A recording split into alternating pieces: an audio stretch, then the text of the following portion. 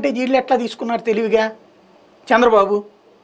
వాళ్ళ పార్టీ వాళ్ళు ఫుల్ ఖుష్ వాళ్ళ పార్టీకి కావాల్సింది ఏంటంటే పవన్ కావాలి. పవన్ సీఎం కాకూడదు. పవన్ ఓటు తమకు కావాలి. పవన్ నాయకుడిగా అంగీకరించరు వాళ్ళు. అంటే తమకంటే గొప్ప నాయకుడిగా. చంద్రబాబు కంటే గొప్ప నాయకుడిగా ఏమి అంగీకరించరు. చంద్రబాబు తొంభై పవన్ కళ్యాణ్ పది. అంతే. అంతే తప్పించి చంద్రబాబు పవన్ యాభై యాభై అనరు. పొరపాటు కూడా అనరు. ఈవెన్ చంద్రబాబు ఏం చేశారు అక్కడ పక్కన నుంచుని? ఈయన పవన్ కళ్యాణ్ గారి ఆవేశం చూస్తే నాకు చాలా ఉంది. ప్రజా పోరాటాలు చాలా చేయి.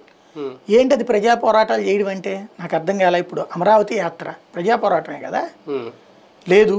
ఇంతకుముందు జరిగినటువంటి కార్యక్రమాలు ఇలా ర్యాలీలు కూడా చేశారు కదా దా బాదుడే బాదుడు. అక్కడ ఎవడన్నా కొట్టాడు ఎవరినన్నా? బాదుడే బాదుడు కార్యక్రమంతో అసలు ఎక్కడైనా గొడవలు జరిగినాయా? నిజంగా ప్రజాస్వామ్యంగా జరగనీయకపోతే చంద్రబాబు టూర్లు వెళ్తున్నారు లోకేష్ టూర్లు వెళ్తున్నారు. ఎవరు ఆపుతున్నారు? కానీ ఈ పరిణామంతో ఓపెన్ ఇన్విటేషన్ ఇచ్చారా? అలయన్స్కి సంబంధించి చంద్రబాబు గారు? లేదంటే ప్రజలకి ఒక క్లారిఫికేషన్ ఇచ్చారా?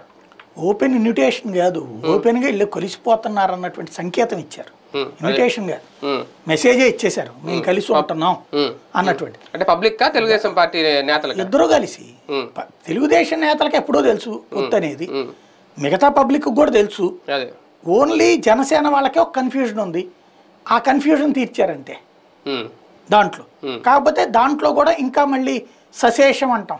Hmm. బ్రాకెట్లో పెడతాం. అది ఎక్కడి నుంచి రావాలి? బీజేపీ నుంచి రావాలా? క్లారిటీ? ఏది? జనసేన నుంచినే రావాలి. ఎందుకంటే బీజేపీ అయితే తెలుగుదేశంతో వెళ్ళదు ఇప్పటి వరకు అయితే. ఏమన్నా చిట్ట చివరి నిమిషంలో చంద్రబాబు గారు బీజేపీ టీడీపీ జగన్మోహన్ రెడ్డి గారిని గద్దె దించడానికి టీడీపీతో కలిసి వెళ్దాం అని చెప్పి పవన్ కళ్యాణ్ గారు ఒకవేళ అడిగితే భారతీయ జనతా పార్టీని బీజేపీ రాను అంటే బీజేపీ వైసీపీ తరపునుంది అని చెప్పి ఒప్పుకోవాల్సి వస్తుందా? చెప్పుకోవచ్చు వాళ్ళు ఏమైనా అనుకోవచ్చును. ఇప్పుడు కమ్యూనిస్టులు లేరు వాళ్ళతో పాటు.